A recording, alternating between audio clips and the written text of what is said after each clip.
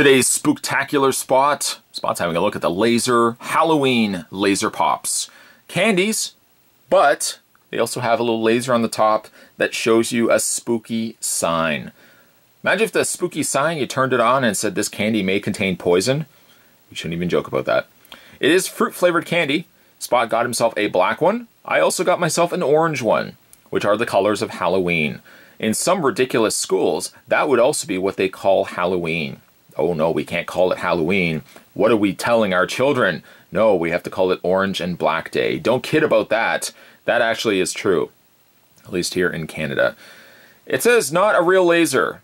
Don't expect to be slicing through ice, slicing up deli meat ham. It's not going to happen, my friends. Not even close. It says safe LED light source. However, avoid pointing at eyes, or you will get a fright you weren't expecting blind. You will be blind. It says battery powered. Do not disassemble. Batteries may cause serious injury if swallowed. So many safe tidbits here on this candy. The black candy, or the black flashlight candy, is strawberry. However, if you look at the orange one, which other than the canister being a different color, the labels are the exact same, they are also both strawberry.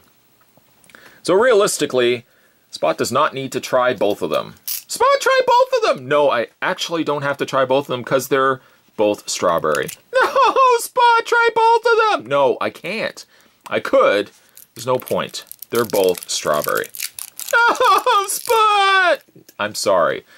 Anyways, to get the candy, we have to twist the bottom, and there's the candy right there. It kind of looks like a ring pop. Do they even make such a thing anymore? Ring pops? No? There's a little bit of wrapper on it. That's good. That means there's no hair, debris, fly carcasses, ew, ew, or anything else on this candy.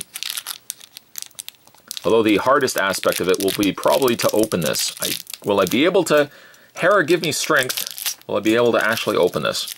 We'll cut it, we'll start it along its journey, we'll just cut it up with our knife, kniffy, which also you have to be very careful with. And there's one of the candies right there.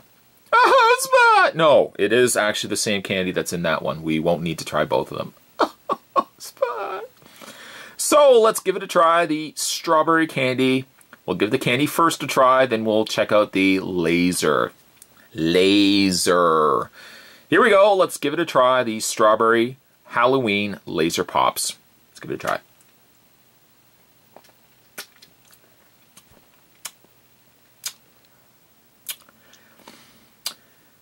Well, hold on. It tastes like strawberry candy, but I gotta tell you, it tastes like really, really, really cheap strawberry dollar store candy. Like we're talking the cheapest of the cheapest. It's okay. At least it's strawberry and not some, not like lemon or pineapple. Oh, don't even get me started on those two. But at least it's decent enough candy. I would give this to the neighbor's kids that I don't like very much. Here you go, that's for you. Hey, laser pops! And then they try the candy later and they flail their hands. Their little stumpy childlike hands. Okay, so when you're finished, you can put it back into the canister. That keeps it protected. That means the dog's not going to get to it. Don't let the dog get to the candy like this. It's not going to be good for him. So there's a little button on the top here. Equally so, there's a little button on the top of the orange one that when you press them, they will project an image. You may or may not be able to see what that image is. The black one is a bat. The orange one, however, is a ghost. You could have them fighting one another, although there would be no way to score points or to determine one over the other. But you can kind of just have fun like the ghost is ah, chasing the bat, and then the bat is ah, chasing the ghost. I think what we will do to get the full effect of these, we're going to dim the lights, we're going to check out the lasers. Sounds like fun? Oh, they're not real lasers. Don't want to squash your imagination there, but we'll we'll check out the lasers in the dark. Okay guys, I'm still here. I haven't gone anywhere. I'm still here. We're going to try the lasers.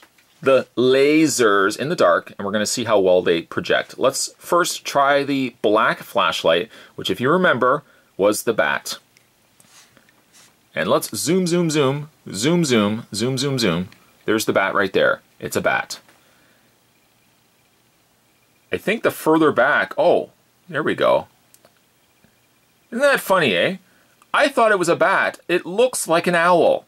What kind of funky wings does that owl have? But I didn't realize it until I pulled the laser further back. Pushing it further in, right there, that looks like a bat. Pulling it back though, no, no, no, no way, my friends. That's an owl. Whoo, says the owl. There's the owl. Okay, so let's try the orange one. We kind of already know it's a ghost. There's the ghost right there.